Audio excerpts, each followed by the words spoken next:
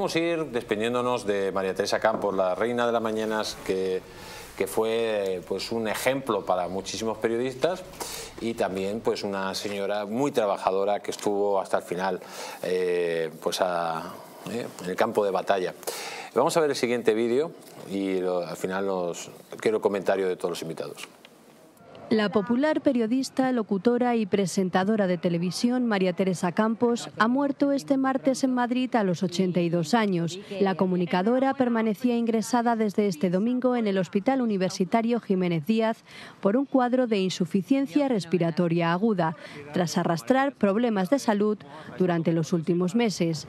Desde su hospitalización ha estado arropada en todo momento por sus hijas Terelu Campos, Carmen Borrego y su nieta Alejandra Rubio, así como por el resto de su familia y amigos más cercanos. María Teresa Campos, la Campos para el público, ha sido una de las caras más conocidas, queridas e influyentes de la televisión española durante cinco décadas, convirtiéndose en una de las presentadoras pioneras en los magazines matinales con un estilo propio de hacer pantalla y audiencias millonarias.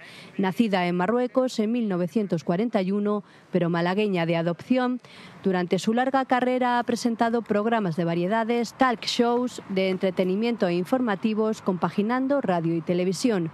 Recibió el calificativo cariñoso de la Reina de las Mañanas, desde su trabajo en Por la Mañana en Televisión Española, conducido por Jesús Hermida. Fue entonces a finales de los 80 donde se convirtió en Chica Hermida y se disparó su popularidad al frente de secciones como Apueste por una y un debate diario. Había nacido una nueva forma de hacer televisión que se mantiene hasta la actualidad, en el que no se limitó a introducir la crónica social para atraer al potencial público, sino que dio espacio al debate político, entonces no tan habitual, trasladando las tertulias radiofónicas a la televisión.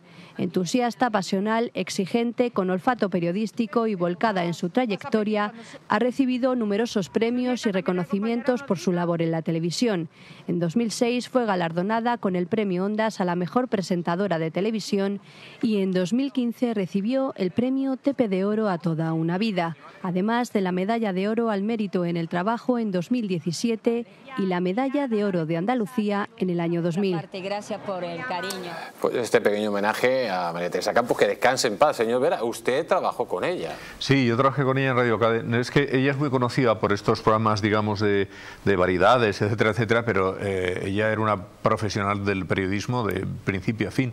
Y ella fue directora de informativos de Radio Cadena Española aquí en Madrid y yo trabajaba en esos servicios informativos en aquella época. No mucho tiempo, pues, en fin, como un año así estuve yo trabajando a sus órdenes, aparte de que luego coincidí en, en, en otros eh, programas de otro tipo con ella, pues una profesional como la Copa Pompino, luchadora y triunfadora, porque todo lo que hacía lo hacía bien. Bueno, lo único que no triunfó en la política, porque ella se presentó a las elecciones, en las primeras elecciones, por un partido que se llamaba Reforma Social Española, que de Cantarero del Castillo, que nadie se acuerda de él, y no salió elegida diputada, pero todos los demás siempre triunfó, era una periodista de, de cabo a rabo, de, de principio a fin. ¿no? Un, un, ejemplo ¿no? de, de comunicadora, señor Paz.